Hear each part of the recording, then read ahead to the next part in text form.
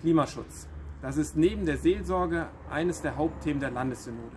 Der Vorschlag ist, sich verbindlich das Ziel zu setzen, bis 2035 treibhausgasneutral unterwegs zu sein.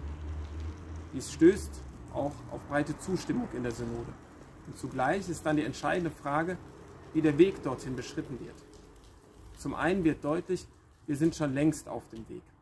Nur ein Beispiel, ich stehe hier auf dem Vorplatz unseres Gemeindehauses in St. Augustin Niederpleis. Eine Solaranlage arbeitet auf dem Dach des Gemeindehauses und das Pfarrhaus, es ist ganz in Rot. Es ist energetisch saniert worden. Und wir hier in Niederpleis sind bei weitem nicht die Einzigen. Vieles hat sich verändert in der Kirche im Rheinland. Und zugleich liegt noch ein langer Weg vor uns. Viele Gebäude, deren Betrieb 80 Prozent unserer Emissionen verursachen, müssen teils grundlegend saniert werden. Und generell müssen wir weiter an unserer Haltung mit Blick auf Mobilität und Beschaffung arbeiten. Dies wird finanziell wie personell eine riesengroße Kraftanstrengung.